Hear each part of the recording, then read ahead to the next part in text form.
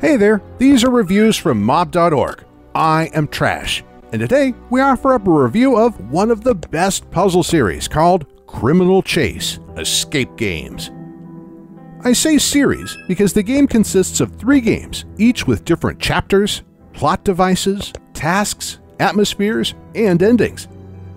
In the first game of the trio, called Dead End, you are going to investigate a murder of one of the biggest businessmen in the city. Run Chase will allow you to feel how it's like to be a policeman who is hot on the trail of a skilled thief. And the final game, Mr. Lau, will tell an exciting detective story saturated with classic noir elements straight out of a detective mystery of old. All three games are really unique, interesting, and can be completed in one sitting, though it will take hours to do this. The secret is in the game's wonderful, interesting, and logical puzzles, of course.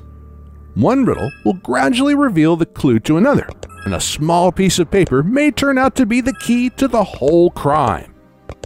Most of the found objects can be mastered, broken down into pieces, and combined to get new ways to solve a task.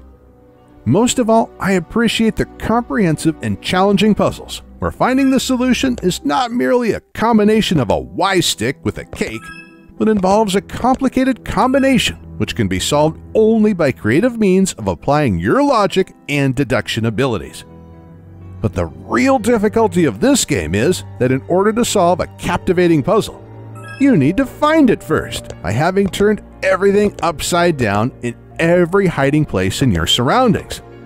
If you are looking for a game which could challenge your powers of intelligence, just like I was, then Criminal Chase Escape Games is the perfect solution to your puzzle.